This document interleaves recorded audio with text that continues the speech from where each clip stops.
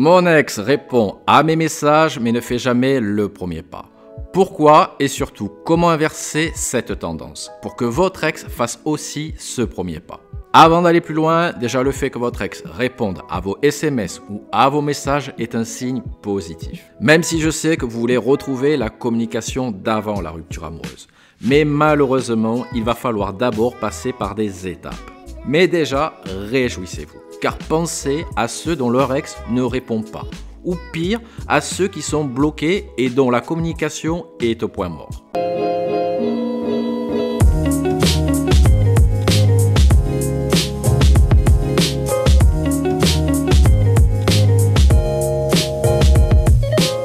Bonjour et bienvenue sur la chaîne de James D, votre expert en reconquête amoureuse et développement personnel. Et dans cette vidéo, on va voir mon ex répond à mes messages mais ne fait jamais le premier pas. Alors tout d'abord, pourquoi votre ex répond à vos messages mais ne vous envoie jamais de SMS Il faut bien comprendre que votre ex a choisi la rupture amoureuse. Et souvent, c'est la première étape en coaching. Vous ouvrir les yeux sur le fait que la rupture amoureuse était inévitable. Non pas parce que vous n'êtes pas la bonne personne pour votre ex. Non pas car il n'y avait plus de sentiments dans votre relation.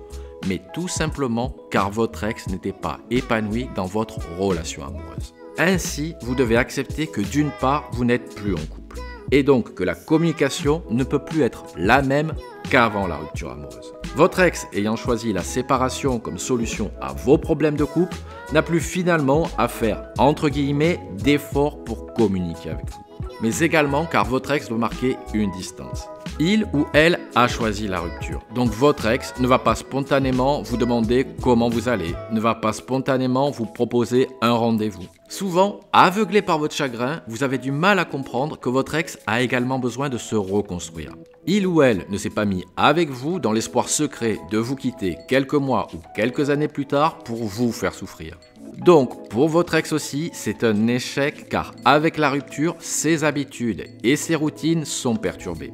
Et votre ex va avoir donc un besoin aussi de digérer la rupture amoureuse et un besoin de reconstruction personnelle.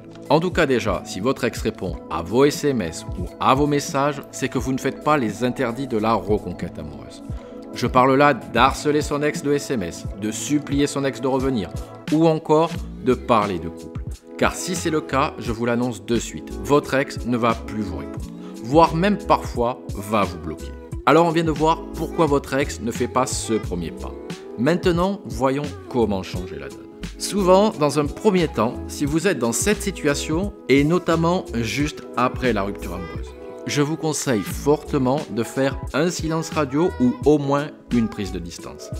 Tout d'abord pour vous remettre de la rupture, afin d'avoir les idées claires pour mettre en place la bonne stratégie de reconquête.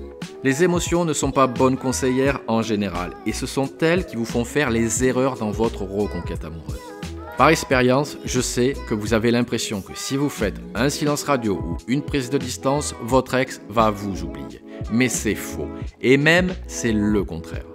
Alors premièrement, on fait un pas en arrière pour accepter la rupture pour comprendre la rupture amoureuse, amorcer son changement et mettre en place sa stratégie de reconquête amoureuse. Une fois que ceci est fait, on passe à la deuxième étape qui est la reprise de contact. Une fois que vous avez surmonté la rupture amoureuse, que vous avez vaincu votre dépendance affective et que vous avez amorcé votre changement, on va revenir petit à petit vers votre ex. Souvent dans mes vidéos, je vous parle de qualitatif et non de quantitatif, car c'est ce qui va compter dans votre reprise de contact. Si, comme je le vois souvent, vous contactez votre ex pour lui dire coucou ça va, quoi de neuf, etc. Ce sont des SMS qui ne servent à rien. C'est plat, il n'y a pas d'énergie, pas d'enthousiasme. À la rigueur, on va vous répondre par politesse. Mais honnêtement, vous n'allez rien apporter de positif. Ces SMS-là, c'est du quantitatif. Vous envoyez cela et vous vous dites super, mon ex me répond, j'ai encore une chance. Mais c'est vraiment stérile pour votre reconquête amoureuse. Alors visez le qualitatif avec deux méthodes qu'il faut alterner et qui fonctionnent. Vous savez, l'être humain, vous, moi, votre ex, n'échappe pas à cette règle.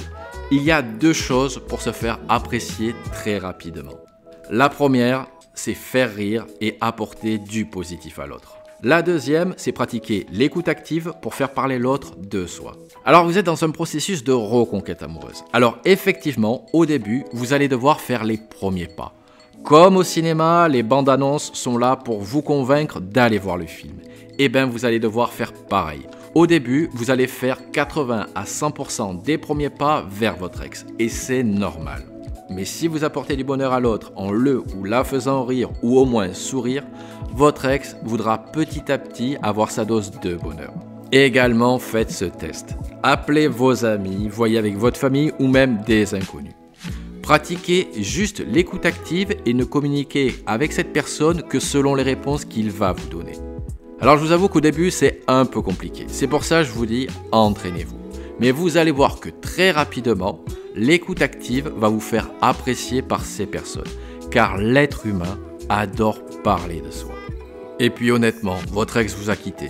Alors si vous parlez que de vous, j'ai envie de dire, votre ex va s'en moquer un petit peu. Je sais que c'est dur à entendre, mais c'est la réalité. C'est vous qui êtes dans un processus de reconquête amoureuse, donc c'est à vous de faire au moins les premiers efforts. Je vais prendre un parallèle. Quand vous prenez l'avion, le moment où l'avion dépense le plus d'énergie, c'est au décollage. C'est là qu'il faut mettre le plus d'intensité et le plus d'énergie. Une fois que l'avion a décollé, il utilise beaucoup moins d'énergie. Alors au début, oui, comme pour l'avion, vous allez devoir faire ces premiers pas, qui doivent être qualitatifs, sans vouloir forcément prolonger les échanges. Juste apporter du positif à l'autre et vous verrez que petit à petit, votre ex va premièrement accepter la communication. Et deuxièmement, la communication va devenir de plus en plus longue. Et c'est à ce moment-là que vous allez devoir reprendre un peu de distance. Car comme pour la bande-annonce, vous aurez donné envie à votre ex d'aller plus loin dans la communication.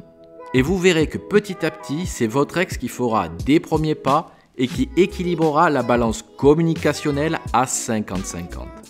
Alors je compte sur vous pour mettre en place ces stratégies. N'hésitez pas à prendre une séance coaching si vous en avez besoin, je vous ai mis le lien dans la description. À vous abonner à la chaîne, comme ça vous recevrez toutes mes vidéos. Et bien évidemment, si cette vidéo vous a plu, de mettre un pouce bleu. Je vous dis à très bientôt sur la chaîne avec James D.